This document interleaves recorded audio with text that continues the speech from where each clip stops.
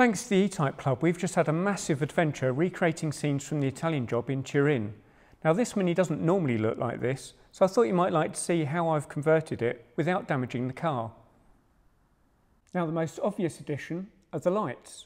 We bent up a piece of tube based on a original photo from the film and then bolted it through the overriders. We used some Mark 1 overriders here that have the extra hole in the side.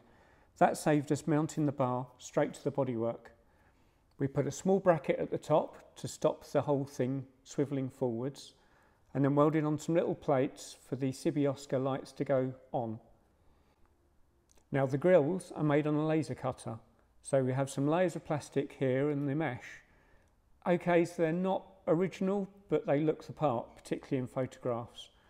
The ones for the headlights were slightly harder because they've got a curved surface so uh, I couldn't just use the flat design that I used for the main lights.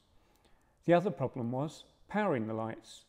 This car's still on a dynamo, so putting an extra 13 and a half amps through that didn't seem sensible, particularly when we were in Italy. So what I did was I used a jump start pack and just plugged it straight into there. That gave us the look we're after and would last an hour.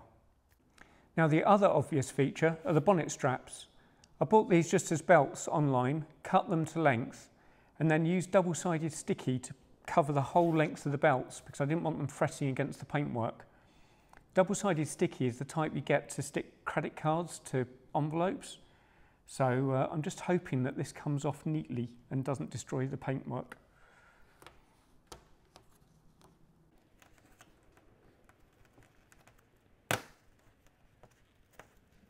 Happily, it seems to be working.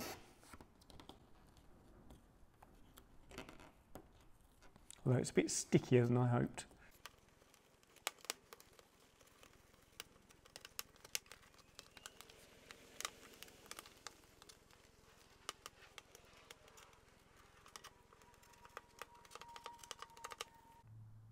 And there we go, a bit of a clean and nobody will ever know. The GB badge is just magnetic. Then for the roll cage, we have a piece of cardboard tube painted silver. So there you go. The Mini's back to normal, ready for its next adventure, and I've got a kit of bits that I can convert it back to an Italian job car whenever I like.